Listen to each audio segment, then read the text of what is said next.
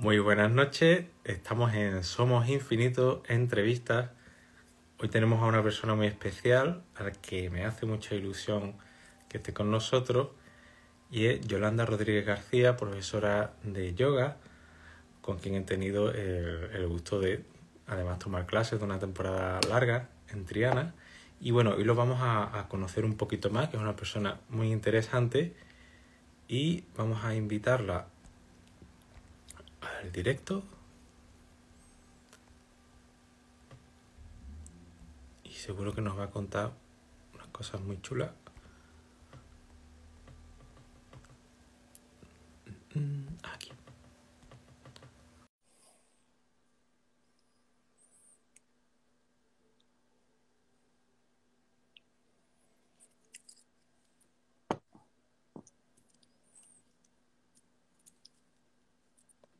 Bueno, ahora parece que toda la conexión.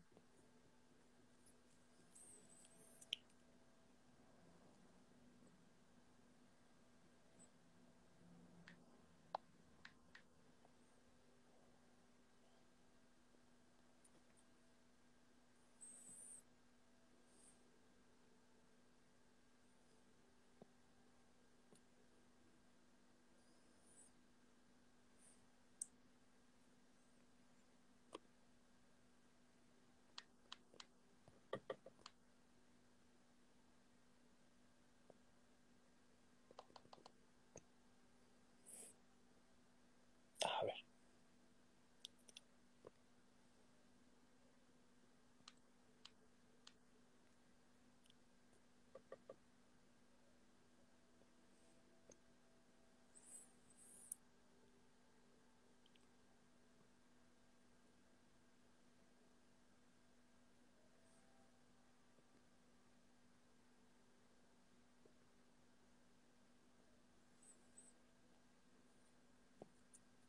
Bueno. A ver, entra, entra, entra.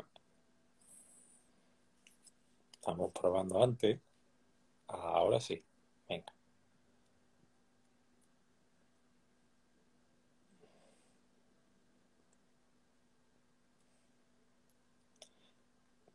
A ver, dale a la cámara abajo. Igual vas a tener que darle a esa cámara que hay abajo, donde está la persona, donde pone el más, ahí.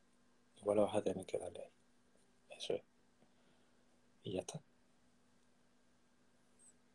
Y ahora tiene que aparecer.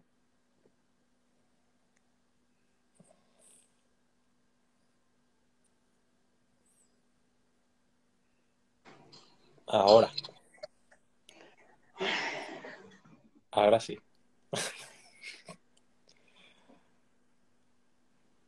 A ver, ¿estás por Yo ahí, no te Yolanda? veo. Yo sí, yo sí te veo. Eso, yo no, yo no te veo a ti. Ahora. Te veo en gris. Y vamos a ver. ¿Sale tu cámara ahí? Yo te estoy viendo a ti. ahora, ahora. A ver, dale a tu cámara. Es que igual ah, Ahora. estaba la cámara. Estaba invertida. Madre Ahora. mía. Esos son, Bueno. esos son esas energías que no permiten a veces que las cosas vayan como tienen que ir. Yo ya estoy acostumbrada. Distrae. Bueno, ¿cómo estás, Yolanda? Bienvenida Pues mira, bien. Infinito. De viernes, de viernes, como yo digo, con la energía de toda la semana acumulada. Los viernes tenemos el yoga inclusivo con los chicos y entonces pues me lo dedico también a esa experiencia de estar con ellos y es como un autorregalo. Ellos me dan, yo doy y, y es como completar todo el, el trabajo de la semana en sí. Entonces vamos bien, con el cansancio normal que uno puede tener de una semanita así intensa, pero bien, contenta. Bueno, acabas la semana contenta entonces. con Sí. esa satisfacción. Bueno, Sí. pues para mí un placer recibirte eh, y abriendo un poco a perfiles, como yo digo, más mindfulness, pues es un, un placer tenerte a, a ti también hasta ahora y seguirás viendo artistas, ¿no? Pero tú también eres artista, que me lo ha dicho un pajarito que también hace tus pinitos. Eh, has hecho, entonces ahora nos contarás un poquito, te vamos a conocer un poquito más Yolanda, profesional, un poquito de tu trayectoria también. Y, bueno, en un, en un, primer, en un primer momento, una, una pregunta para empezar, ¿cómo te defines a ti misma? ¿Cómo te presentarías? Me defino hacia a nivel personal como una persona curiosa. A mí la curiosidad me mueve mucho, entonces la curiosidad me hace que, que quiera aprender. Entonces, dentro de lo que es esa característica de curiosidad, pues me gusta aprender todas aquellas cosas que me dan estímulos de superación, sea lo que sea. Es verdad que también para todas las personas tenemos más talentos para unas cosas que para otras. Entonces, pues por curiosidad he empezado a aprender ciertas cosas que las he ido descartando porque me he dado cuenta que no era mi talento, como por ejemplo la música, ¿no? Pero a mí me gusta aprender, me gusta mucho. Entonces, soy polifacética creativa, me considero creativa, de ahí de esa creatividad me gusta emprender, de ahí empresaria, me gusta montar cosas, eso me fascina. Y en general, pues no sé, yo me definiría así, ¿no? Como una persona con mucha curiosidad. Una eterna aprendiz de todo. Y actualmente eres profesora de yoga. Mm. Principalmente la gente te conoce así, también como terapeuta, ¿no? Sí, o sea, dentro de lo que es la rama profesional, por llamarle de una manera, o en donde invierto mi tiempo a nivel profesional, pues soy terapeuta holística, trabajo con equipos de medicina cuántica, la naturopatía llevada a unos planos elevados para trabajar el perfil de las personas desde su aspecto físico, emocional y mental. Entonces, dentro, dentro de esa perspectiva de conocer a las personas en todas sus potencialidades y todos sus planos, pues trabajo con ese tipo de equipos y a la vez las terapias que se aplican ya son diversas. Tú, una vez que tienes un perfil eh, de la persona que tienes contigo y viéndola como una totalidad dentro del ser, nosotros podemos manifestar una serie de situaciones porque las sintamos a nivel emocional y se detectan a nivel físico y algunas pautas físicas que detectamos vienen por patrones de pensamientos, ¿no? Entonces, pues, eh, unes la mente al sentimiento y el sentimiento a la parte biológica y a partir de ahí se derivan en diferentes técnicas de sanación o curación tanto terapéuticas como médicas. ¿eh? yo tengo un centro, tú lo conoces, se llama Ticha, y es un centro sociosanitario. Hacemos actividades sociales y actividades sanitarias. Entonces, una vez que hemos tenido ese encuentro con la persona, esa cita primaria, digamos, pues ya se derivan. Si son cuestiones de estrés, que quizás con mindfulness, con yoga, con ciertas técnicas de respiraciones, eh, de prana, vamos a conseguir que esa persona autoaprenda a relajarse y a quitar estados de estrés, de ansiedad, que le puedan ayudar a su desarrollo personal, derivamos hacia esas actividades. Si la cuestión es un poco más elevada y la persona necesita de un profesional, ya pueda ser psicólogo, puede ser otro tipo de terapia, pues derivamos a, que vaya a esos profesionales. Entonces, el centro que, gestiono es muy amplio muy diverso porque tratamos aspectos los más importantes que comprenden a una persona.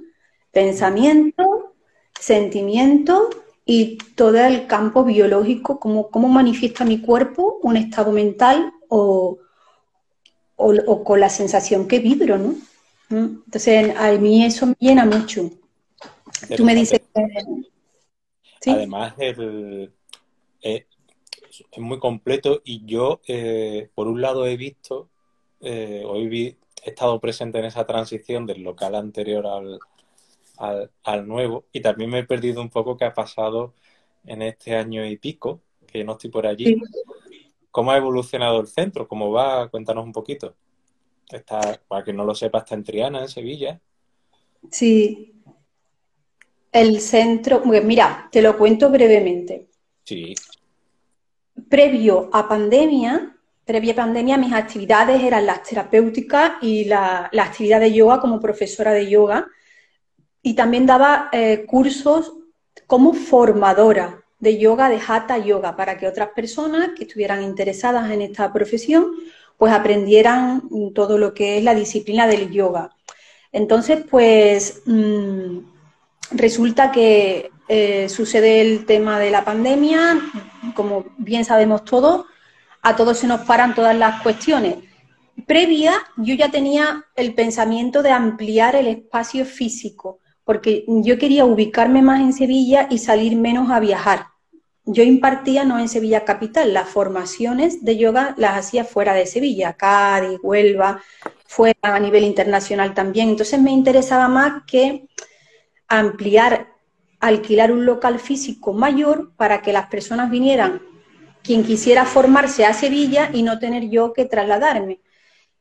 Es verdad que era una inversión económica, pero bueno, yo lo planteaba como una inversión de vida, porque al final la materia del dinero llega, va, se pierde, se gana, es, todo arriesgarse, no es más. Yo lo veo así, ¿no? Sucede que yo ya estaba buscando locales físicos. Llega la pandemia, lo para todo, y claro, yo también me paré en ese aspecto, ¿no? Dije, pues, pues ¿qué hago? perfectamente puedo, tengo alternativas de dejar de trabajar en el local que tengo, que era pequeño, tú lo conociste, un local de 50 metros, que no me permitía hacer ese tipo de formaciones, sí las terapias y sí clases individuales y tal, pero era pequeño. Eh, tenía esa alternativa de quedarme como estaba. Segunda posibilidad, dejarlo y ponerme a trabajar para otras empresas, como ya también hacía.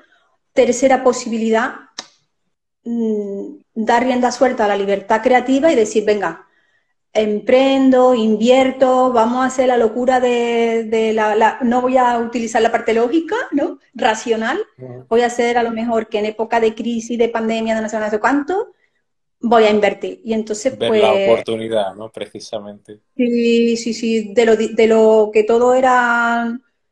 Me concentro, yo digo, pues voy a intentar expandirme, a ver qué pasa.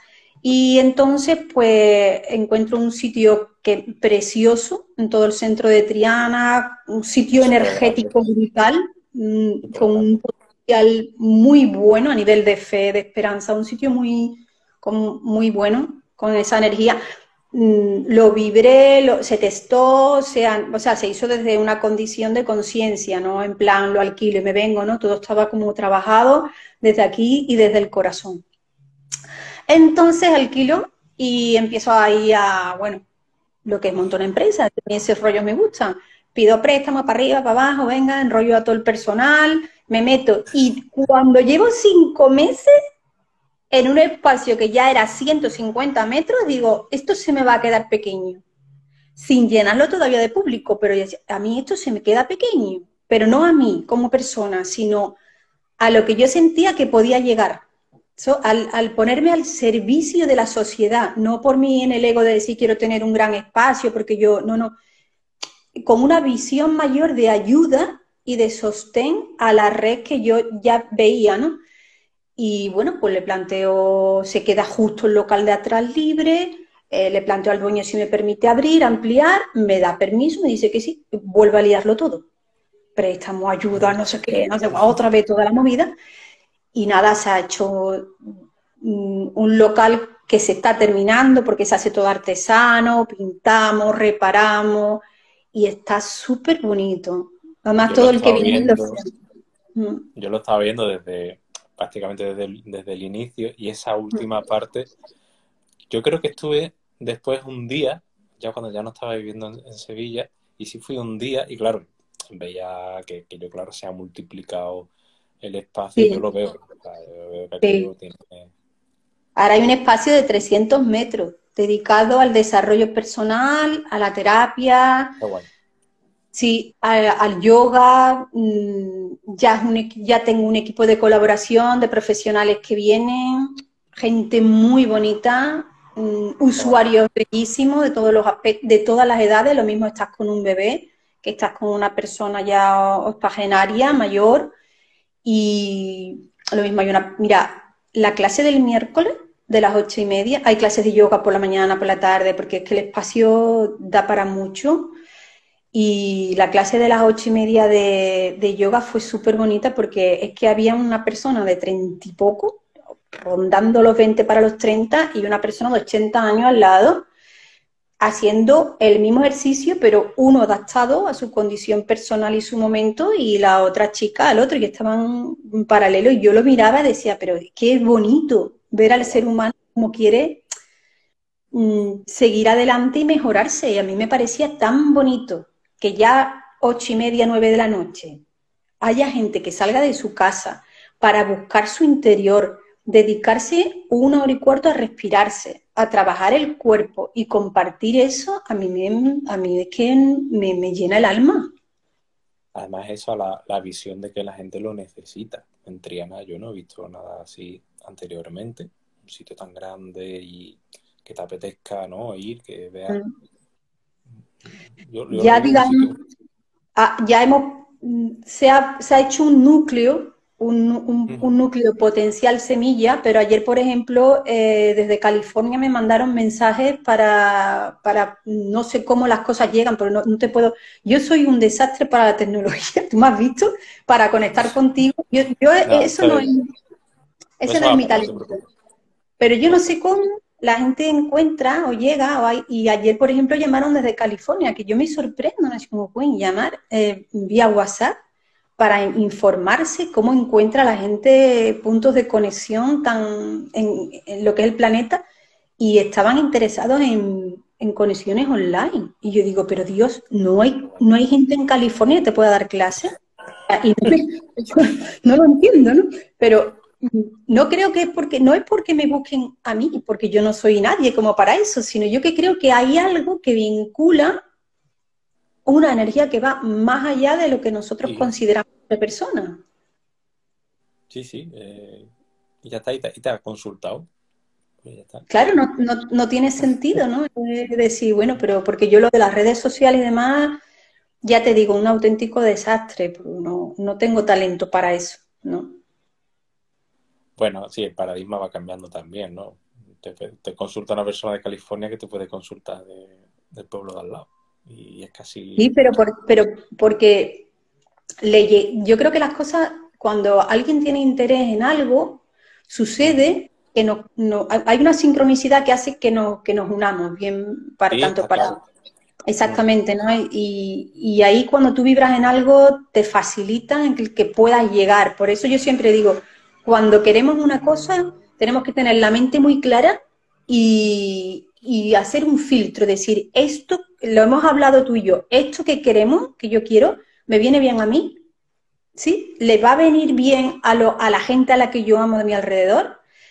En este presente me facilita, me potencia y más adelante, porque a lo mejor vemos las cosas como muy ahora y dentro de un mes tú dices, tía, esto es la ruina de mi vida o la de los míos, ¿no? Entonces, es un deseo, es una necesidad y si es así hay que llenarlo, hay que impulsarlo. Entonces, es como filtrar los pensamientos y decir, si eso es así, va a llegar un momento en que la gente nos vamos a encontrar y de alguna forma se nos va a facilitar que poquito a poco haya un camino de apertura y llegue aquello que queremos. Pero primero es esto, ¿no? esto y esto. Además, esta visibilidad, por ejemplo, con este ejemplo, a lo mejor esa persona, a lo mejor lo tiene pensado o no, pero puede acabar viniendo de visitando la ciudad y toma clase allí o se lo recomienda a otra persona. O sea que al fin y al cabo, ¿me entiendes? ¿no? Sí, el, de todas, vamos, personas del extranjero vienen, vienen muchas personas también curiosos de Alemania y de Italia. si, tenemos si te refieres al yoga, en concreto a yoga, practicantes alemanes, muy buenos practicantes además, los que me llegan de Alemania practican súper una concentración, una respiración, gente con mucho, mucha presencia. Y quizás si me hablas de eso, tenemos eh, norteamericanos, norteamericanos, me vienen a lo mejor para una... mira, el practicante de yoga, a mí me pasa, ¿eh?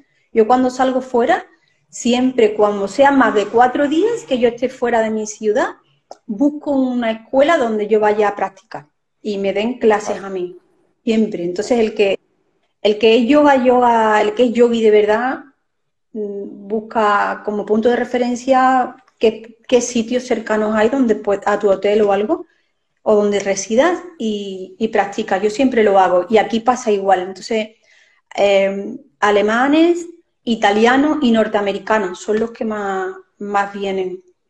Y además estando tan, tan céntrico, porque está muy, muy a la vista y además enfrente de la, escuela de flamenco. O sea que es un sitio muy bien localizado.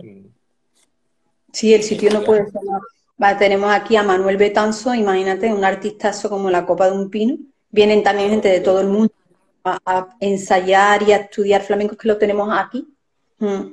Después también tengo un chico enfrente lindísimo, que es portugués, y Marcos, que le diré que vea el vídeo que lo estoy nombrando. Y Marcos es un artista, son Marcos restaura muebles de lo viejo, lo potencia y lo hace bello, nuevo y bonito. Y útil, cosas que vas a tirar.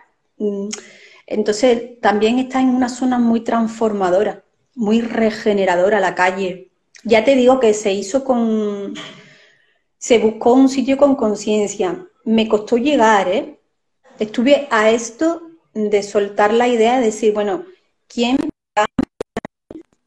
a mi edad, los años que tengo ya lo pasado y lo vivido, meterme ahora en montar otra empresa, pedir préstamo, trabajar, pagarlo, digo, Dios, hay que estar loco.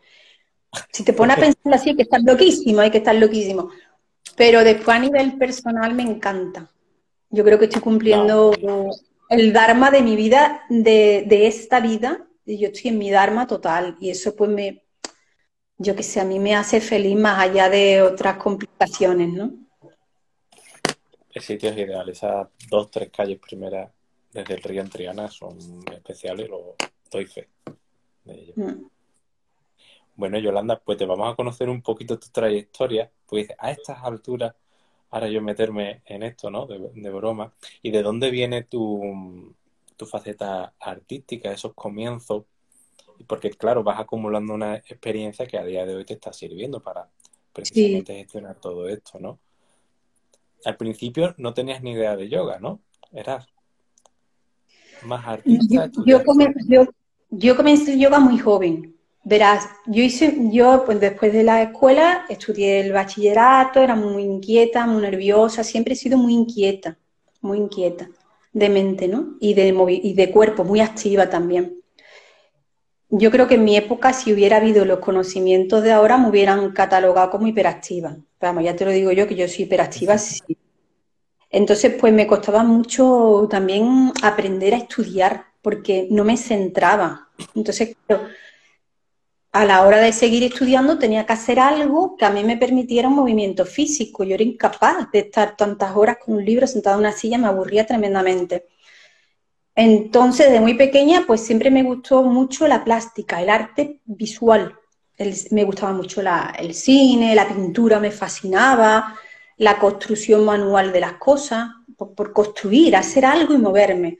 Entonces, em, allá por el 84-85, en Sevilla, capital, montan una escuela mm, de arte como pionera e innovadora y bueno, yo salía de, lo que era el colegio, la escuela primaria de aquí.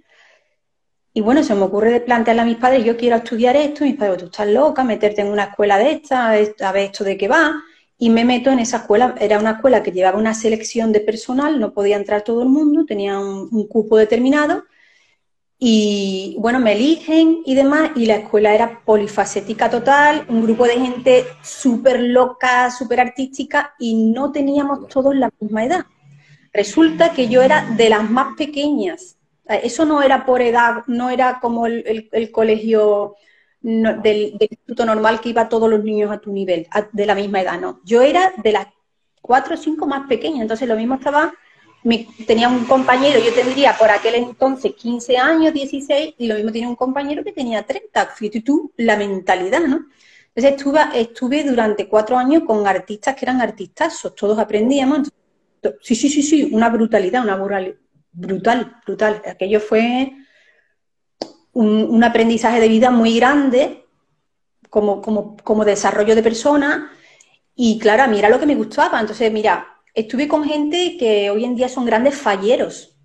eh, utileros, eh, técnicos de sonido, bueno, tengo compañeros técnicos de sonido, técnicos de, iluminación, que ahora trabajan en teatros y demás, eh, actores, mm, todo lo que te pueda decir de la diversidad del mundo del arte, tanto de la plástica como de la interpretación. Más de la plástica, yo tocaba más la plástica porque como yo era tan inquieta, yo lo que quería era construir y fabricar. A mí me gustaba materializar las cosas, pensar algo y verlo material. Entonces ahí me di cuenta que esta gente tenían tanto talento que digo, bueno, ¿yo para qué me voy a dedicar a hacer algo si mi compañero lo hace mejor? Y desde muy chica me ponía a producir. Vamos a hacer esto. Yo me inventaba una cosa y uno hacía el diseño del patronaje, el otro hacía la peluca, el otro no sé qué, el otro, y montábamos. Y entonces mi profesor me dijo, mira, tú el día de mañana vas a ser una productora brutal. Porque, claro, yo me inventaba algo y yo, y yo decía, ¿cuánto tiempo voy a tardar yo en aprender lo que mi compañero ya lo hace y lo hace genial? Pues me gustaba crear equipo.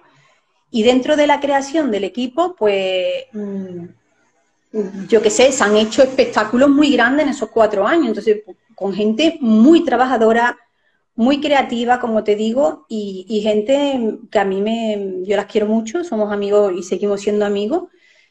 Algunos viven fuera, en el extranjero y eso, pero, pero de todo, ¿eh? Gente que toca ópera, de todo tipo. Entonces, abreviando, consigo, eh, me voy también a estudiar al extranjero, en la escuela de, bueno, estoy en París, en la escuela de Jean Lecole, eh, ahí es donde comienzo a tener un contacto con, la con el movimiento y la expresión corporal. Entonces, en esa escuela se practicaba em, meditación zen y que yo para mí eso era un, vamos, quedarme quieta, yo enfrente, no, no podía. Imagínate que te estoy hablando de 18, ya, ya tenía yo ahí 18, 19 años, están locos, ¿no? Y, hacían, hacían unos ejercicios muy buenos, unos estiramientos brutales que ya era yoga, pero claro, yo ni yoga ni nada, yo era una, una chavala que estaba haciéndome mayor, pero un adolescente, ¿no? Y, y, ahí es donde empiezo a tomar los primeros contactos con el yoga, muchos contactos con respiraciones, porque los actores tienen una preparación muy disciplinada, tanto a nivel de concentración mental, ejercicios de memoria, antes de empezar a, actuar, tienen toda una dinámica de desarrollo, de preparación, entonces yo estaba mucho con ellos y aprendía de ellos. Y uno de los profesores que había allí, bueno, por mediación de ellos he hecho papeles y después me voy a la escuela de Jean Levir Messier, al norte de Francia, muy cerca de Brujas. Y, y ahí había un profesor que era japonés. Y el japonés, bueno, todo esto, mm, yo ni papa de francés, sigo sin hablar bien francés, miento los papeles, digo que yo hablo francés perfectamente. Cuando estoy allí digo, Dios, yo no me entero de nada. Claro, ya la directora allí no me podía devolver la beca, me deja allí, diría, esta niña es muy chica, muy joven, se ha metido aquí, y me meto en un curso de verano que duraba tres meses, digo, yo aprendo el francés, que va, todavía no lo sé hablar. En un curso de gente internacional y me ayudaron un montón también. Se reían mucho porque decían, esta tía está loca. Pero claro, yo tenía una beca, yo estaba becada desde aquí, desde España. Mi madre me ayudó mucho también a que me fuera, ¿eh? Siempre se lo agradeceré porque ella me decía, con lo joven que era, te vas a atravesar Europa, pasé cosas de teatro y de producción, tú estás loca, pero aún así me dejó y me permitió irme. Yo tenía 18 años en aquel entonces. Y en aquella escuela eh, había un profesor japonés y la directora me dijo, mira, esta chica hay que disciplinarla, porque eh, va como una cabra, ¿no? Y aparece, yo estaba muy nerviosa, que no me enteraba de nada de lo que hablaban. claro, entonces yo hacía ver que yo entendía, pero yo no entendía. Yo lo que no quería era que me devolvieran como para atrás, porque me iba a meter en un follón, iba a tener que devolver el dinero, yo no, yo tenía que salir adelante como fuera. Y entonces ella me dijo, vamos a ver, tú vas a aprender, tú tienes que estudiar más que nadie porque te has colado aquí y eres la que menos sabes de nada, de ninguno, y estás con gente de mucho nivel y tú no tienes. Y entonces dije, Dios, y me puso con el japonés a hacer todas las mañanas meditación y yoga. Lo mejor que te pudo pasar. Lo que me cambió la vida. Cuando toda la mañana yo me levantaba muy temprano, este señor hacía un ritual, que claro, yo además no podía hablar con él porque no nos entendíamos nada. Todo era mm, por seña y por tú haces esto, yo te sigo. Y dos horas, durante tres meses, dos horas, siempre me levantaba al amanecer muy temprano porque cuando llegaban los compañeros yo ya tenía que estar mm, desayunada, vestida con la ropa de curso porque yo mm, me ponía la ropa de, practicar. Tengo fotos, te las enseñaré de aquella época. ¿eh? Y, a mí me cambió. Mm. Ya cuando volví, pues yo quise encontrar, cuando llegué aquí a, España, eso era el año 90, 89-90, aquí no había nada de eso nos encontrábamos, había solo una escuela de yoga en Sevilla y, bueno, ahí fue cuando ya hice un desarrollo más de autopráctica personal. Es una época que no había lo que hay ahora. Ahora tú pones un botón y te salen 40 clases de vídeo de lo que tú quieras. en aquella época...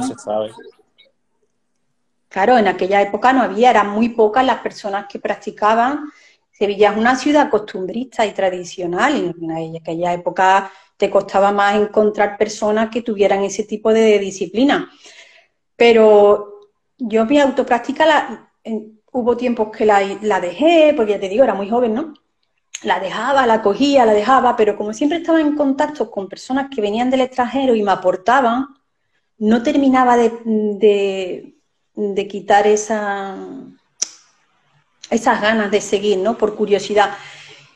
Y a mí yo te digo, a mí el yoga mm, no solo me ha hecho ser mejor persona, sino que me ha centrado mucho. Date cuenta que mis principios de madurez como ser humano era todo muy de fantasía. El teatro es muy fantástico, el mundo del arte es muy fantástico, tienes que poner los pies a tierra o vuela pajarito. Entonces, me ayudó mucho a, enraizarme y, a no perderme. Y mm. hasta que tú decides, voy a priorizar por el yoga, voy a, formarme, voy a ser profesora, hasta entonces, claro, tú, tú sigues un poco evolucionando en la, producción también, ¿no? Artística y, se va, va, va, cogiendo lugar, ¿no? Un poco, o, se va desplazando un poco la producción, ¿no? Claro, yo, yo termino mi, de hacer mis estudios y como había muy pocas personas en... Mira, es que en aquella época, por ejemplo, eh, te estoy hablando de un año, de unos años mm, a nivel creativo y artístico en, la ciudad, eran buenísimos. Eh, mira, coincidió con la movida madrileña, ¿vale? Entonces, en Madrid era una explosión de todo. Empezaba el cine, empezaba la televisión. Aquí en, en Andalucía, en mi región, no había televisión autonómica. Se empieza a crear la televisión autonómica. Necesitaban de todo. Había mucho trabajo dentro del mundo del arte, porque necesitaban productores, realizadores, directores, presentadores, necesitaban de todo. El Centro Andaluz de Teatro, ¿vale? Se monta en esa época. Entonces no, yo era de la primera promoción de todo. Y, y entonces pues, tenía muchas oportunidades y tenía muchas posibilidades. Te estoy hablando en una época que, todavía se empieza a montar la Expo del 92. ¿eh? La Expo del 92 es una explosión aquí de espectáculo, de creaciones. Entonces era una época súper rica. Imagínate una persona en esa edad, sitúame a mí en esos años, en esa edad, con gente que a mí me habían enseñado mm, moverme en muchos campos, con una curiosidad muy grande pues, ¿qué es lo que hago? Pues me monto empresa. Me monto una empresa de espectáculos de teatro y empiezo además a producir espectáculos para otras personas. Empiezo a trabajar también en el Centro Andaluz de Teatro y a hacer producciones. Entonces, mm, durante unos años es una carrera muy, muy desarrollada ya a nivel profesional. Como, como profesional dentro de esas características me sigo disfrutando de lo que hago, pero también te digo que en algún aspecto mm, toco un mundo de gente muy poco empática, ¿vale? Gente también, toco mucho, aprendo mucho también de los egos, de los orgullos disparados, de veo muchas energías que también, por supuesto, me entraban a mí. O sea, que yo no estoy ajena a todo eso, ¿no? Sí, sí, sí. sí. Yo aprendo de lo bueno y aprendo de lo menos bueno. Aprendo faltas de respeto, sabe que las cosas no llegaban a tiempo y en aquella época las... Bueno, ahora cualquiera se grita en un trabajo, pero en aquella época una producción no llegaba a tiempo o en un ensayo general algo fallaba y la gente se gritaba. O sea, cosas que tú darás ahora no, se entiende otra cosa. Exactamente, pero eh, aprendí muchísimas cosas y ya, mm, bueno, tengo una hija en aquella época, mi hija mayor, mi hija Andrea, jovencísima, mi Andrea ha venido conmigo a todos los espectáculos, todo pequeñita y ella venía conmigo. Y, y, después ya más adelante, a partir del 98 así, nace Esther, mi segunda hija, y bueno, pues resulta que ya siendo madre de dos niñas, era muy complicado en un mundo que tienes que estar pegando muchos saltos y viviendo mucho la noche. Nosotros, muchos ensayos se hacen de noche. Muchísimos ensayos se hacen de noche. Mm, mucho de noche. Entonces, pues empiezo a tener complicaciones familiares. Entonces, para mí había un principio. Ser responsable. Yo ya había tomado una responsabilidad en mi vida que era traer otro hijo a este mundo y entonces ya había incompatibilidades familiares y personales como, como madre.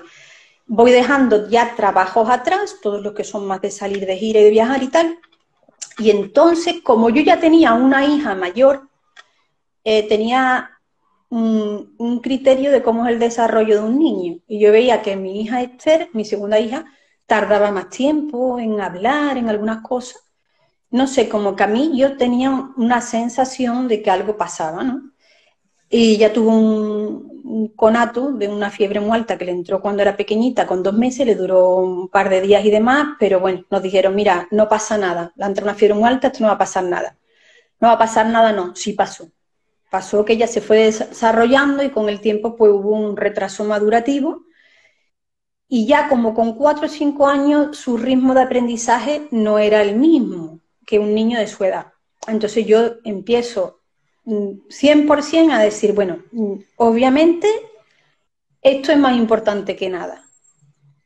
Dejo, dejo ya el Centro Andaluz de Teatro, dejo, todos los trabajos, mm, cierro, sí, cierro la empresa, la vendo, vamos, la traslado, lo cierro todo y me dedico a investigar qué ocurre ¿Y qué ocurre? Que era muy complejo también, porque claro, toda no se sabía porque su cerebro es en expansión, una niña pequeña que va, mm, no se sabe a dónde va a derivar el tema, ¿no?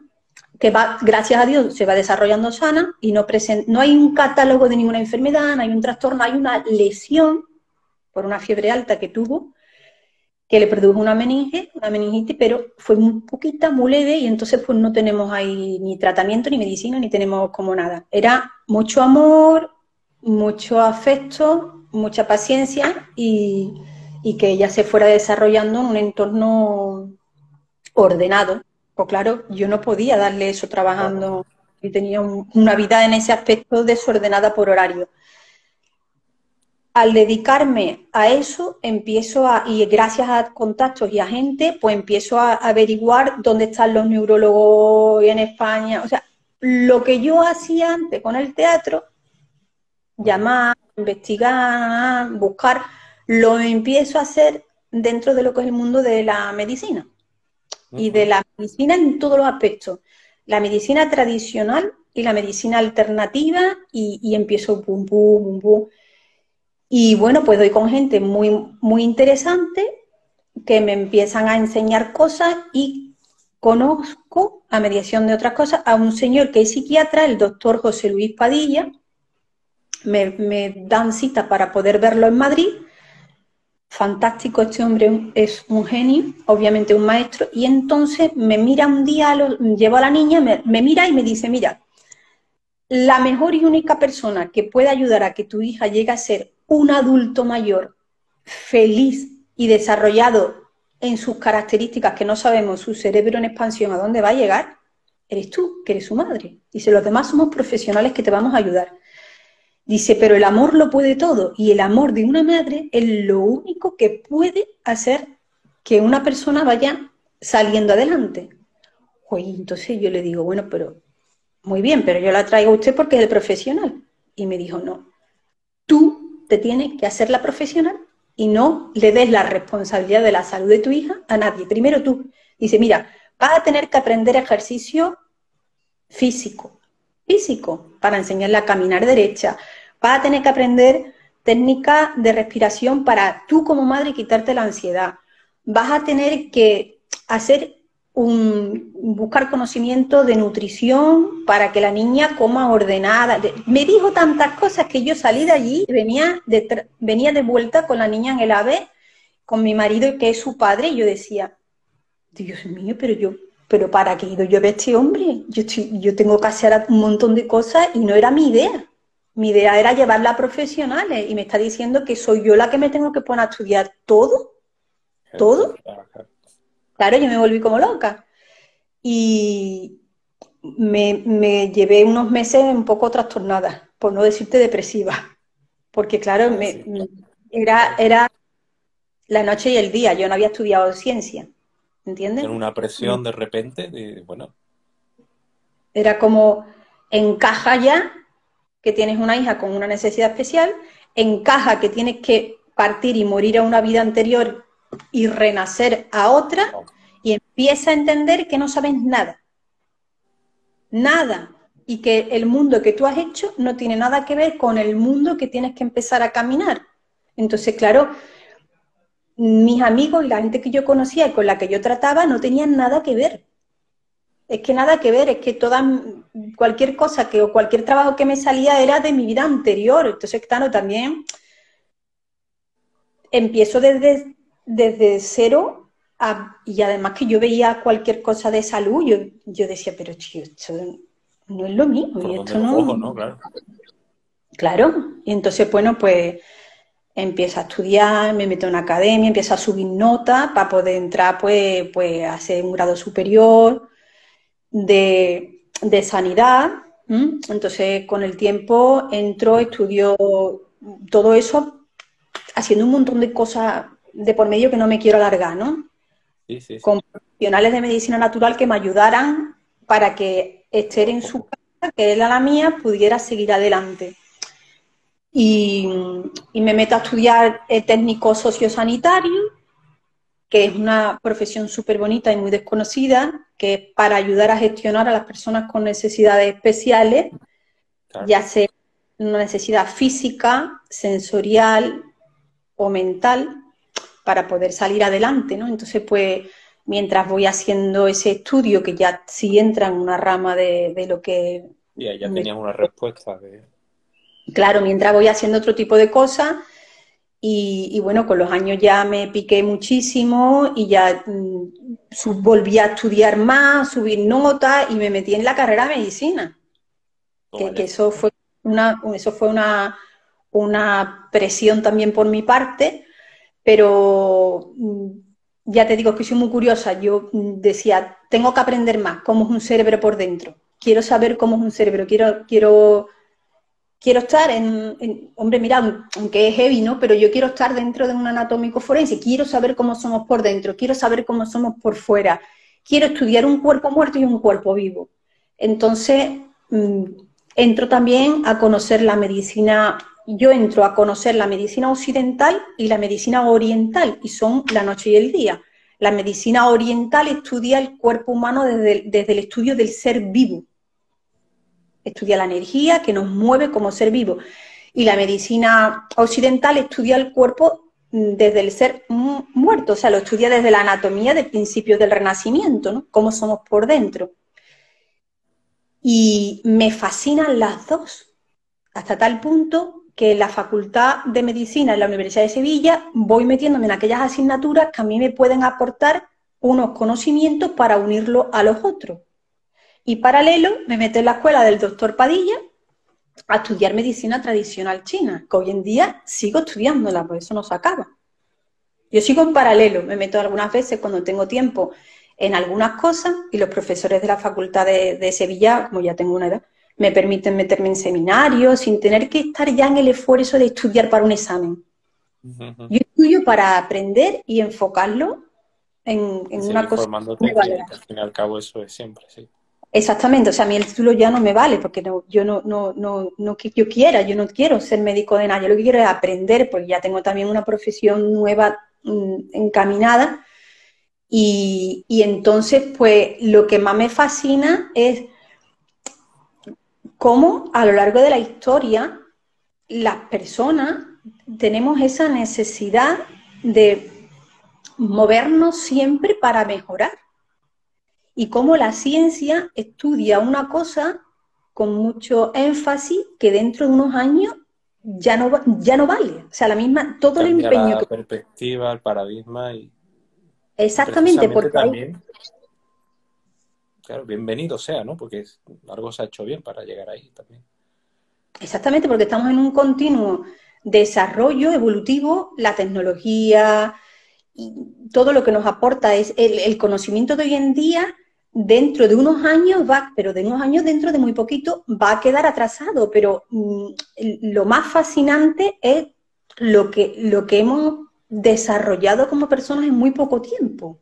Sí, sí, Y sin embargo, como hay culturas ancestrales que hay cosas que ya las sabían sin tecnología. Es como fascinante, ¿no? Entonces, cuando tú, Sí, eso te pones ahí- claro, ¿no? Tú por dices, aquí, "Pues, has llegado ahí, has dado una vuelta y has llegado al mismo sitio.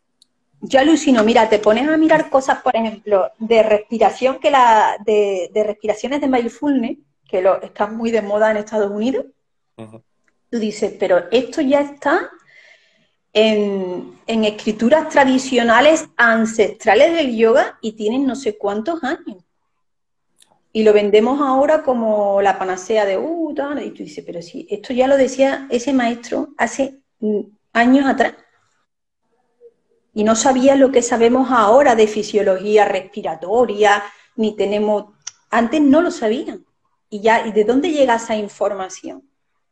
Entonces a mí hay, a mí hay cosas que me, me, me fascinan y ya te lo he dicho al principio, yo sigo siempre aprendiendo de la gente y de, y de la materia que hay. ¿no? Importante mantener el entusiasmo en, en lo que haces, en... Cuando una persona deja de aprender, yo lo veo por las personas mayores. Ya te digo que el centro trabaja con desde bebés, haciendo la preparación al parto con yoga, desde bebés, mamá, mamá, la, etapa de la madre, desde niños pequeñitos de bebé hasta personas adultas mayores, mayores, 80, 90, de- y en el canal de vídeo que tenemos, en el canal de YouTube, hay un vídeo de una señora con 86 años haciendo yoga, pero yoga, yoga, o sea, con la mano en Paschimottanasana llegando al pie. ¿Mm? O sea, que, que, que, pues, que es bonito y, y a los mayores me dicen, el día que se pierde el entusiasmo por aprender, ese día te deprimes y dejas de vivir. Si cada día aprendes algo, vas a despertarte con más ganas, más vida, Además por seguir se puede, ¿no? desarrollando. Es, es precisamente eso, es, es vivir, porque siempre puedes aprender algo. Precisamente lo, acabamos de decir, ¿no?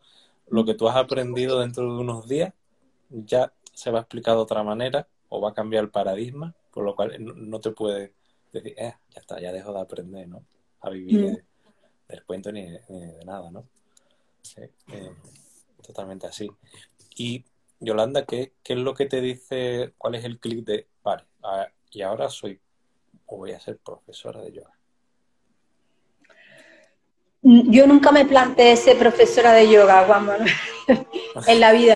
Nunca. Además, yo no quería, pero ¿para qué? Yo hacía ot- otra, Por lo que tenía has tan... contado hasta ahora, es Sí, yo ya estaba, yo ya estaba cubierta, no era mi interés para nada, para nada.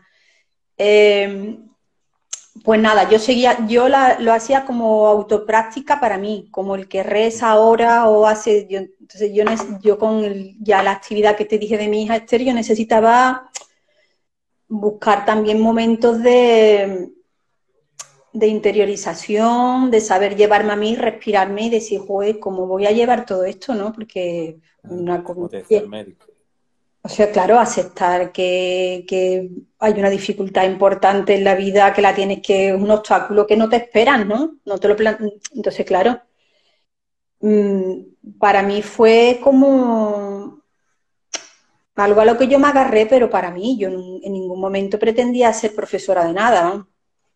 Lo que pasa es que sí es verdad que en el, autoaprendizaje y en tan pocas escuelas que había aquí, pues mm, yo tenía carencias, muchas carencias.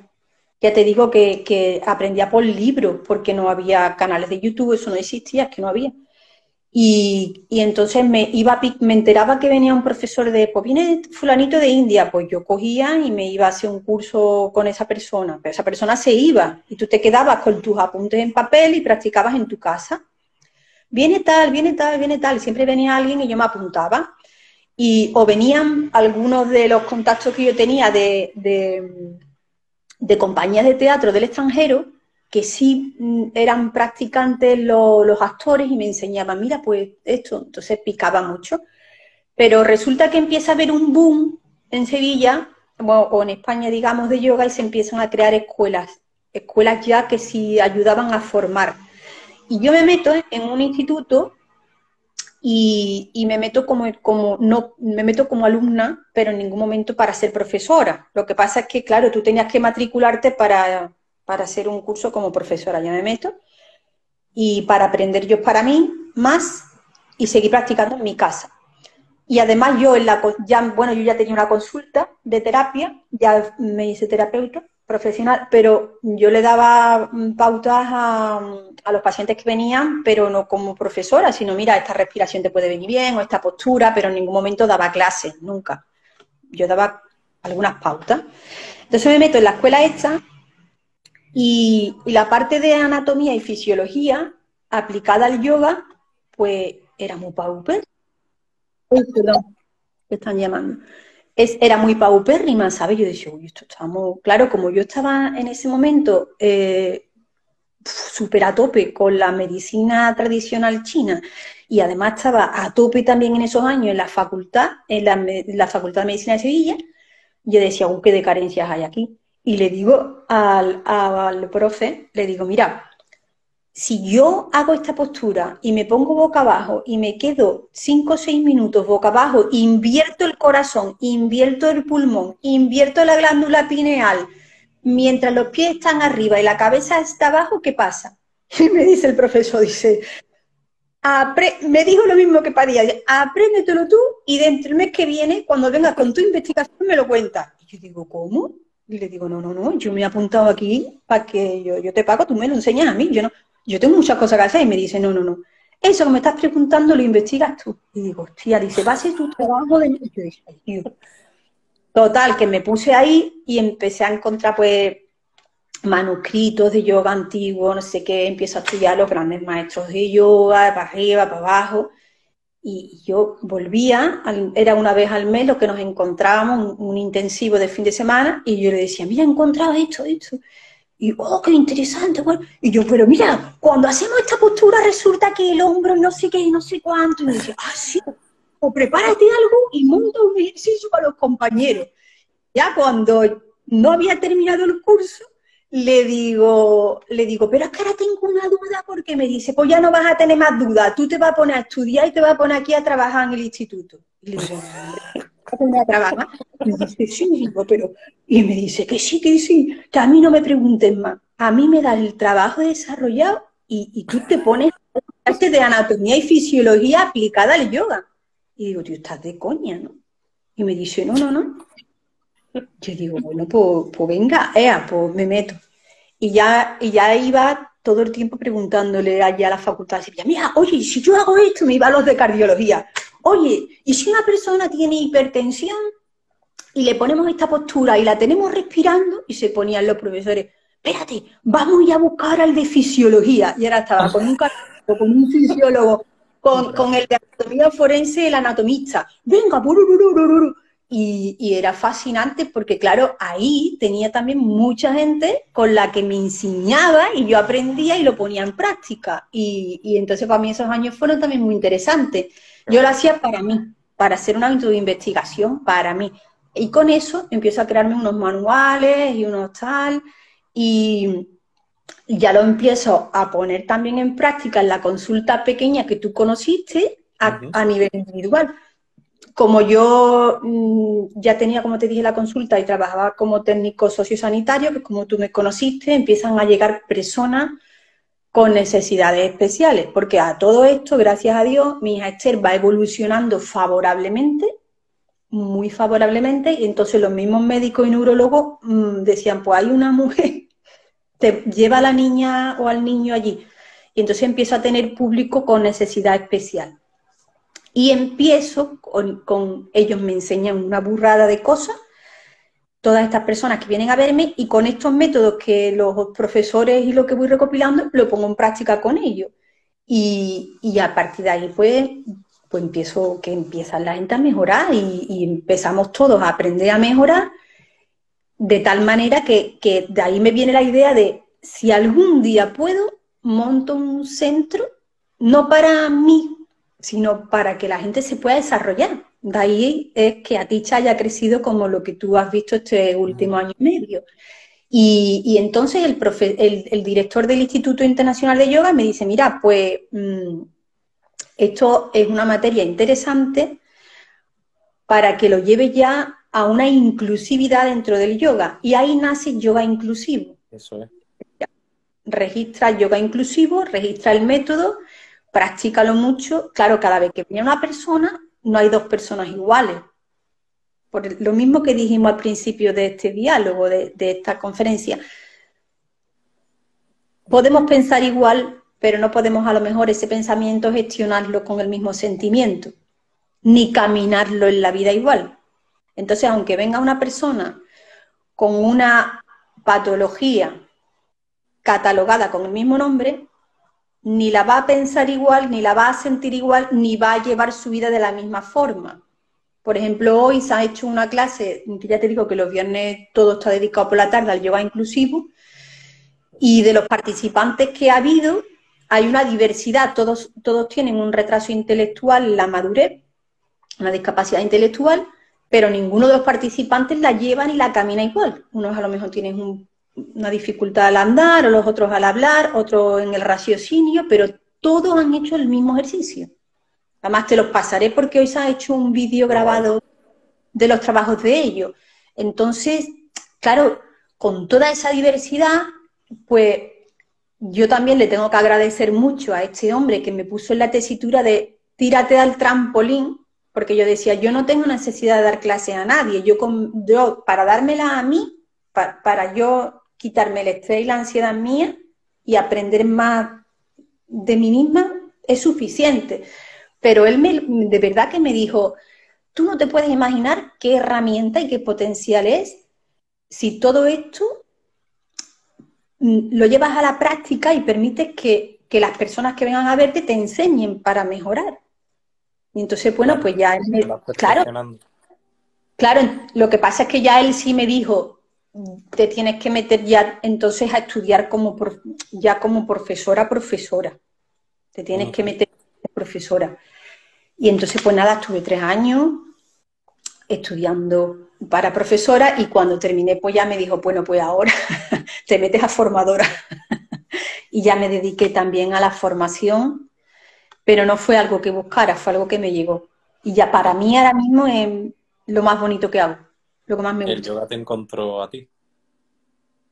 Sí, a mí me, a mí es lo que más me gusta. Todos los días. Mm. Yo lo puedo decir, eres muy buena profesora de, yoga. Yo lo he disfrutado mucho. Es más, a, mí me has puesto el listón muy alto, yo lo digo. Estoy tomando clases privadas cada semana, casi seis meses, y ahora lo, lo, lo, lo que encuentro y tal, pues digo, uy, qué, qué flojito. Entonces, pues me cuesta unirme a esos grupos más flojitos ya necesito un poquito algo más, ¿no? Pero sí, que eres muy buena profesora porque algo de hecho lo explican muy bien los pequeños detalles, ¿no? La mano así, tal y cual, que en este tipo de clases no te lo explican, no te lo dicen, has puesto detalles. Yo que soy profesor lo valoro, ¿no? Digo, no lo dices por mm. algo. Claro, has visto muchas carencias también, como me decía. Entonces, mm. saber lo que no hay, entonces tú insistes más, ¿no? Y eso está muy bien desde luego. Y entonces, pues, pues sí, como profesora, muy, bien. Gracias. Yo es que lo disfruto, lo disfruto, lo disfruto mucho. Y después, de verdad, es yo creo que es un salvavidas, ¿sabes? Haciéndolo de una manera tradicional, porque me vas a permitir que te diga que también ya metido en la materia el yoga se, se ha prostituido y se está prostituyendo mucho, ¿eh? Hay mucho yoga de moda, yoga de posturitas, que no en nada tiene que ver. La pose, si, si hablamos del estilo hatha yoga, el hatha va, es un estilo que va a mover el cuerpo para llevar a un estado, mm, un estado más elevado de conciencia, pero en ningún momento es hacer una pose espectacular con el cuerpo, es que no tiene nada que ver. Entonces, pues claro, salen muchas por moda por lo que sea, muchas fotografías, imágenes, vídeos de mira cómo me pongo para acá, cómo me pongo para allá, soy Muchas espectacular. Mezclas, ¿no? También, ¿no? El no sé qué yoga, el wichi yoga, el no sé qué yoga, ¿no? Muchas mezclas como que, que se puede combinar y yo creo que en algún momento, claro, pierde un poco esa... Bueno, yo, yo, sí, yo sí estoy a favor de que las cosas evolucionen y que haya estilos nuevos contemporáneos. E, eso es, un tema en el que yo estoy de acuerdo. Pero otra cosa es que, es como la música, o sea, tú lo que no puedes es alterar la música clásica que ya de por sí es lo que es. Que salgan estilos nuevos de música, por supuesto. Que se distorsione, ¿no? Que llega un punto, lo que, lo que venía a referirme, que, que, se distorsione, ¿no? Que está bien, pero que tampoco... Exactamente, que tú no venda, que no, que no se venda humo, ¿no? O sea, que si tú haces jata, haces jata. Si haces jata viñanza, jata viñanza. Si haces kundalini, haces estilo kundalini. Si no sé qué, que si haces mm, power yoga, pues haces power yoga, que en Norteamérica el power yoga mm, brutal. Que quieres hacer astanga. Todo esto que te estoy dando son estilos diferentes. O sea, el yoga es como la música. Yoga es hablar de música. Sería una metáfora, ¿no? Y dentro de la música tú tienes diferentes estilos. Desde el hip hop, exactamente, tú tienes desde el hip hop hasta el flamenco. ¿No? Vale, pues si tú haces yoga dentro del estilo que vayas a entrar en el yoga, ¿qué fundamento estás haciendo cuando lo haces? ¿Estás haciendo hatha? ¿Estás haciendo hatha ¿Estás haciendo un yoga integral? ¿Qué estás haciendo? Porque cada cosa que hagas te va a aportar diferentes condiciones a tus estados. no sé si me explico. Sí, sí, sí. Sabes que no te lo he contado todavía, pero hace unos meses hice acroyoga y me gustó. Claro. claro. Porque además tenía la. Eh, lo bonito que le vi fue la que hay que sincronizar la respiración con el otro y es necesario, no, te, no, no o sea, hay que hacerlo. Y, y, confiar en la persona me parece muy bonito. Y el contacto, todo yo, yo, estoy muy a, yo estoy a favor de la evolución de los tiempos, porque si no, no nos vamos a quedar en los primates, ¿no? Estoy a favor de, de los nuevos estilos de yoga siempre que estén fundamentados. Mira, acroyoga, mira, aquí por ejemplo, eh, yo tengo el yoga aéreo. Yoga aéreo no es un estilo ancestral. El yoga aéreo es un estilo contemporáneo que se trabaja con cuerdas. Si tuviera, nosotros lo que hacemos es las poses de yoga bien bien para trabajar todo el tiempo desde el aire, montados a las telas al columpio, combinamos suelo y columpio, ¿vale? O sea, tú puedes empezar trabajando desde el suelo, asanas y poses y después montarte al columpio, en fin, hacemos combinaciones o clases completas, todo el tiempo empiezas montándote en el columpio y todo el tiempo estás trabajando desde el aire. Si supiera... Darle, darle, una vuelta y, ¿por qué no? no? Bueno, Juanma, tú sabes las inversiones que hacemos, lo que te he contado a nivel fisiológico, cardiorrespiratorio, tú haces las asanas, sirsasana, poner la cabeza abajo al suelo, lo hacemos desde el columpio, no tienes dificultades a las vértebras porque no te estás aplastando la cabeza hacia el suelo, tú estás desde el aire.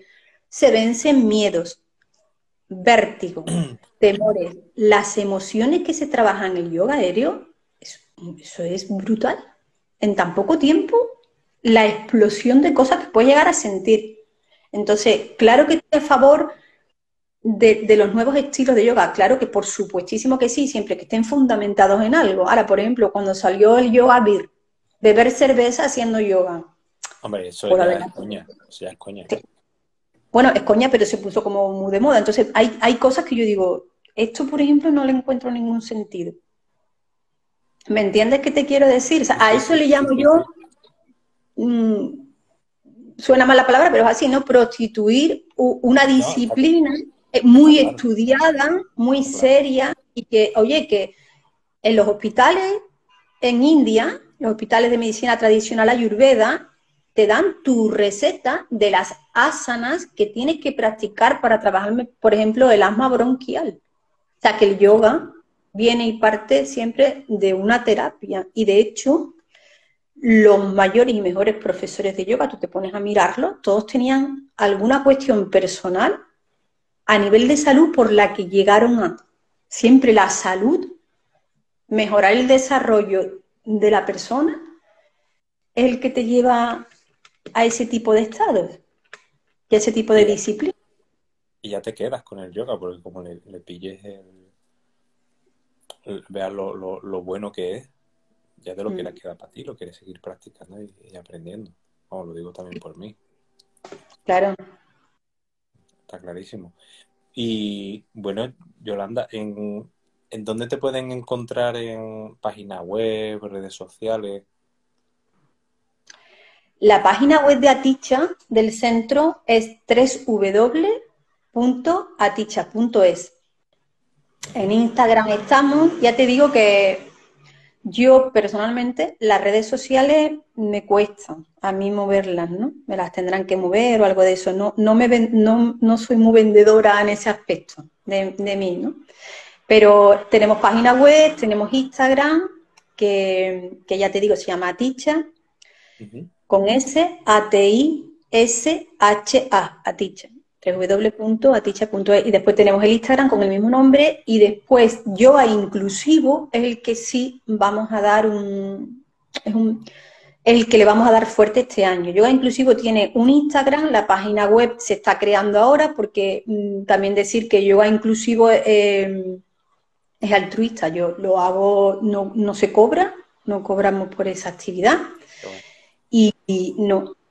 Y entonces, pues, claro, cada vez que tengo algo que yo digo, venga, voy a invertir, voy a invertir en esto, pues entonces ahora voy a invertir en esa página para que se conozca un poco el trabajo que hacen los demás, no el mío, ¿no? Cómo ellos, cómo ellos mejoran, cómo ellos mejoran. Ten en cuenta también que no, no me gusta, porque es un trabajo muy personal de ellos. No me gusta poner imágenes o cosas, mm, no sé, yo veo como una cosa muy personal y muy, íntima, muy seria, entonces mm, me da un sentimiento también de vergüenza, ¿no? De decir, ay, mira cómo han mejorado con esto y mostrar una foto de ellos. Yo lo veo como algo muy, muy personal y muy interno. Pero sí vamos a sacar el proyecto porque te voy a contar.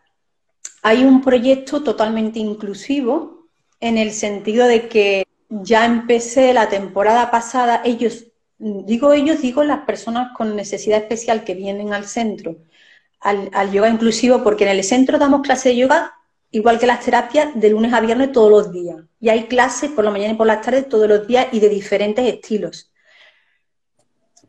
Cualquier persona puede venir a cualquier clase, pero los viernes por la tarde es exclusivo para una necesidad, para un yoga más adaptado, todavía más adaptado, con una metodología más estudiada. Entonces, los chicos, digo chicos porque se han unido un grupo de unos 12 que tienen desde los 16 años hasta los 27, 28 tiene el mayor.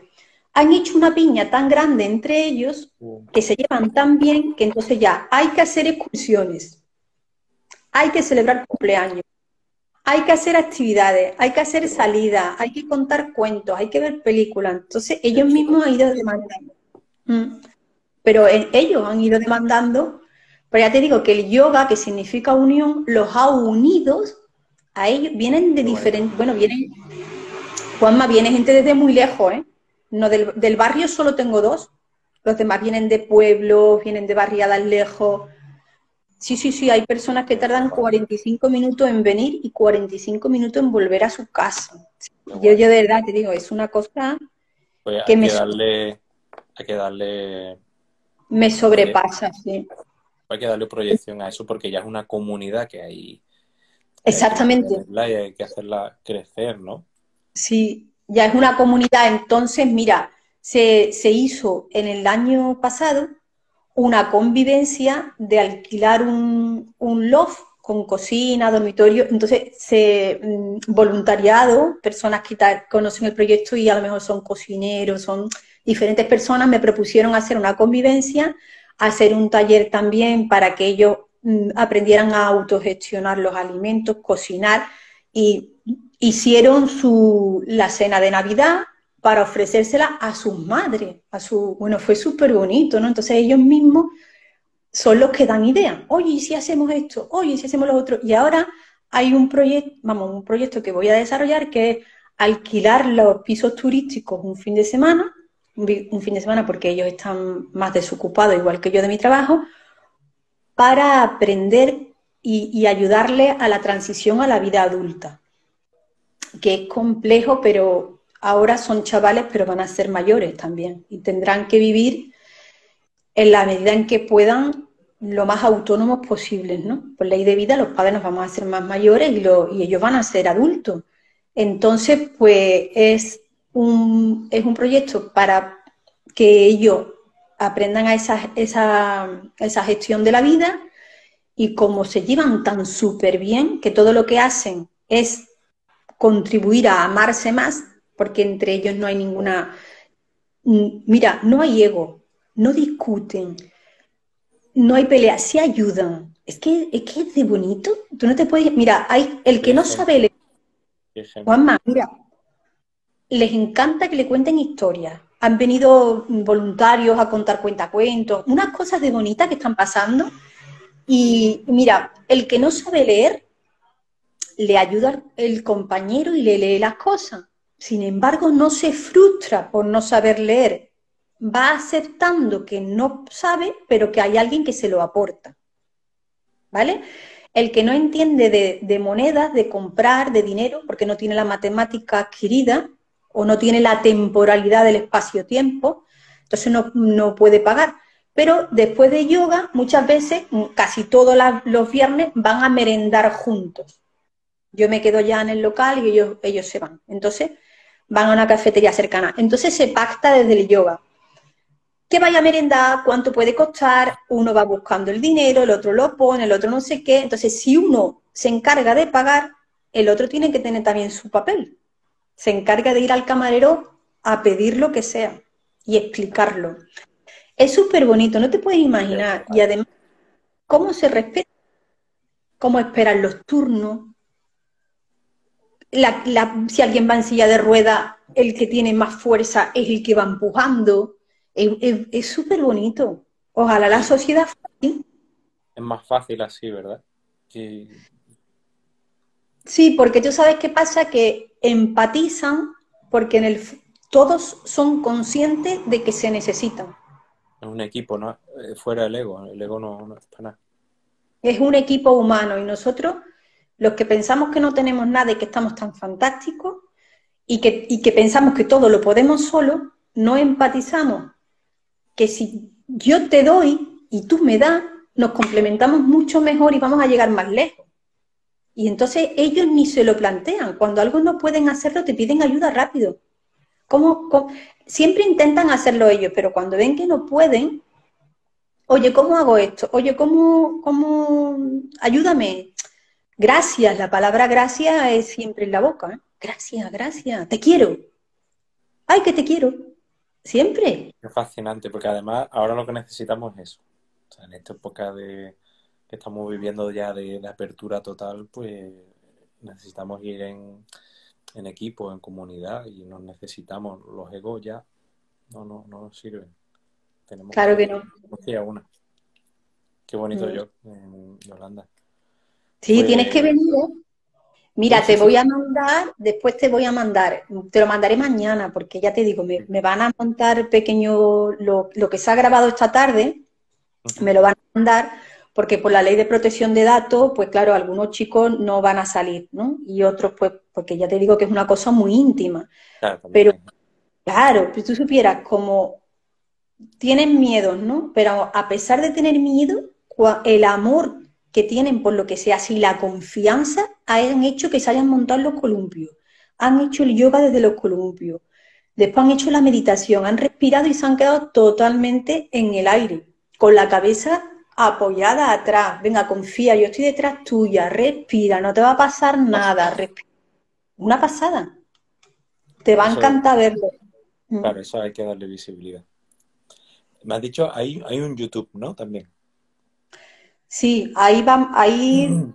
estamos, mm, ya te digo, yo, por mí no, no he necesitado tampoco hacerlo, pero que sí que es verdad que me han dicho, no, vamos a grabar algunas cosas, vamos a poner, porque el objetivo es sacar el proyecto adelante, sacar que, haya, sacar que, bueno, que se pueda hacer un trabajo de, de desarrollo de gestión de la vida autónoma, no solamente de quedarnos con hacer la clase los viernes, sino que, porque además son muy artistas, escriben cuentos, se inventan las poesías, cantan las canciones, son unas clases de creativa, han hecho un, han hecho un, cuento entre ellos. Fíjate. porque el que habla mm, más, de manera que se entiende mejor, lo cuenta y el que hay chicos que sí saben escribir, lo escriben de puño y letra, ¿eh? Yo no quiero que graben con las grabadoras, quiero... Entonces, uno lo cuenta, el otro lo escribe, el otro a lo mejor lo baila, el otro lo dibuja, y entonces entre todos han hecho un cuento. Y yo también se, le, se hizo el cuento, así muy artesano, se le dio a los padres, y también me dijo una madre, pero, pero esto, esto hay que, hay que sacarlo, ¿no? Además, como ellos se llaman la Yogi Pandi, o no sé, se inventan unos nombres. Y, sí, sí, y después hacemos la... Mm, ¿Te acuerdas que te hablé de una técnica de yoga que se llama Sattanga? ah, el, diálogo. El diálogo, sat, sat significa verdad y sanga, reunión o diálogo verdadero y sincero. El sat sanga se hace en el yoga inclusivo y eso es lo más bonito que te puedas imaginar. Cada uno tiene un tiempo de reloj porque si no, ellos no tienen temporalidad. Un minuto puede ser una hora. Entonces se coge el satsanga y se dice, vamos a ver, yo cuento. En dos minutos, dime lo mejor que te ha pasado en la semana. Uh, ahora el otro, ahora el otro, ahora el otro, termina la rueda. Venga, tienes tu tiempo. Y, en tu tiempo tú hablas y los demás escuchamos y no nos vamos a estorbar hablando. Vamos a aprender a escucharnos. Cuenta lo, lo más difícil que has tenido que superar esta semana. Lo más difícil para que aprendan también dónde, dónde... Bueno, una cosa que te cuenta. Es fascinante. Uf, no te puedes imaginar. Además que le veas más, ¿no? Que esto va más allá, ¿no? Que se pueden hacer más cosas, se expande más, va más allá del yoga. ¿Cómo está? Sí. Va, bueno, yo creo que, que todo esto lo que nos está enseñando es que hay una técnica que no solo nos ayuda a nivel físico, sino que nos ordena la mente y que, hace que tengamos un sentimiento que verdaderamente nos une y nos aporta, ¿no? Entonces, pues, ¿qué? De hecho, está, que está confirmando que se está canalizando bien el yoga inclusivo. Sí, sí, sí, sí, totalmente, vamos. totalmente. Que hay, más después, ¿no? Incluso hay algo más. Claro, es algo, es algo más que, lo tejen entre ellos. Y que entre ellos es como se ha creado pues la, pues, la salida, las excursiones, los senderismos. Eh, y como ellos además le cuentan a sus padres. O sea, date cuenta que es muy difícil que un niño pida hacer yoga. Un niño puede pedir hacer fútbol, ir a bailar, hacer cualquier tipo de actividad, pero yoga, que a ti te sienten a quedarte quieto y respirar, que es el final de la clase, es medita, respira. O sea, vamos a aprender a respirar durante todo el tiempo que dura la clase, de una hora y cuarto. Pero al final tienes que acabar en Savasana. Savasana es relajación total, autorreflexión y meditación hago meditaciones guiadas, ¿vale? Propongo un tema. Si veo que estás más inquieto, saco primero el satsanga, vamos a hablar de algo. Oye, ¿para ti qué es la alegría? ¿Para ti qué es la familia? ¿Para ti qué es el amor? una cosa, que, una cosa que les fascina, Juanma. Para ti, ¿qué es tener novio? Date cuenta que son adolescentes. Todos quieren tener novio. Uh. Novio o novio, ¿verdad? Todos, todos están empezando a tener ya ahí una necesidad de amor más allá de la amistad. Entonces, muchas cosas que, bueno, que, a mí me enseñan un montón. Yo, a mí me encanta, la verdad. Qué interesante y qué fascinante que lo que te está dando pie a, todo esto, ¿no? Como cada, mm. cada capítulo que has ido contando ha llegado hasta aquí. Bueno, gracias a mi hija Esther, mi hija Esther me cambió, ¿no? Claro. Claro, todo, todo, digamos que tú dices, bueno, ¿de quién has aprendido más? De ella. Ella es, la, ella es mi maestra, ¿no? Claro. Mm. La que te ha empujado a, o el pivote, ¿no? Por el que la motivación. Obviamente, ¿no? Si dice, te hace aprender más aquello que más difícil te lo pone, ¿no? Tú dices, ostras, ¿qué obstáculo tengo aquí, no? Y esto, pues. Mm, o sea, yo siempre digo, aquella persona que me dijo, empieza de nuevo, y a tirarlo todo y empezar de nuevo, ¿de verdad? ¿Qué razón tenían? ¿Qué razón tenían? Mm. sí, sí, sí, porque estoy... no sé. Mm. Pues, Yolanda, eh, si quiere, yo, yo, yo creo que podemos seguir hablando y, muchas cosas, pero yo creo que ya hemos, hemos hablado un poquito de todo. Si quieres, ya lo, podemos ir dejando por aquí, está siendo súper interesante. Y ya te dejo también descansar.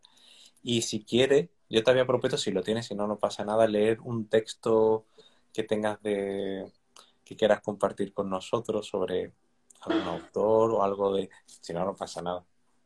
No lo tengo, Juan. no lo tengo porque he tenido una semana a tope. Y porque, como ya te digo, como los ah, viernes con los chavales y, tal, no lo tengo, pero bueno, te puedo una mandar. Frase, un fragmento que tengas ahí a mano de un libro, que se te venga, uy, este. Mm. si te quieres levantar un momentito y cogerlo espérame, voy a buscar algo, no voy a dejar así. Voy a buscar algo del Baba Gallita. Venga. interesante. Si tenéis alguna preguntita así interesante, hemos, hemos visto casi de todo, incluso algunas preguntas que nos habían propuesto a algunos seguidores se han quedado respondidas, así que ya con esto cerramos. No lo sé, Juan Mabé. Bueno, a mí es un libro que me gusta mucho, que yo recomiendo, el Vagaballista. Hay muchos, ¿eh? Pero para los que nos gusta la disciplina del yoga es, un fundamento importante, ¿no? Mm. Mm. Y no sé qué te podría... La página, sí, abre. No sé, mira, te leo cualquiera, algo que tengo por aquí, ¿no? Y ya, ya le dais el sentido que queráis. Dice, entonces se llega al ser eterno, al que ni la luna, el sol o el fuego dan su luz. No es posible volverse atrás a quien emprendió este camino, y esta es la eterna esencia de mi ser. Tendríamos que volver un poco a leer el capítulo que trata del yoga de la unión con el ser supremo. Y lo que va a explicar es que tú puedes pensar que tienes un camino como persona, pero después hay algo superior a ti que hace que ese camino te abra otros miles. Entonces, ábrete a esa esencia y permite que cualquier cosa que esté para ti y que está, llegue. Es algo que... Un resumen de lo que nos has estado contando, básicamente de lo que hemos podido aprender también de, ti, de tu historia. Pues no sé, ya si quieres te, mando algunas cositas o algunos libros por si alguien te pregunta. Vale. Perfecto. Bueno, Yolanda, pues ha sido un placer tenerte aquí. Yo me lo he pasado muy bien eh, escuchándote, aprendiendo mucho de ti, conociéndote un poco más. es fascinante todo lo que cuenta, la, cómo se han ido entretejiendo todo, ¿no? Hasta llegar hasta aquí. Yo creo que es súper interesante. Y, bueno, mandarte un abrazo muy grande y, espero vernos pronto también. Sí, te espero aquí, ¿eh? te espero prontito por Sevilla, de verdad, que te necesito para tenerte cerquita y damos una clase. Sí, por favor. De hecho, ahí te echo mucho de menos. No tú quieras, mamá, es tu casa esta, ¿eh? Muchas gracias, Yolanda. Bueno, pues te dejo ya que descanses y te deseo buenas noches y, y nada, hasta pronto. Adiós, buenas noches, chao.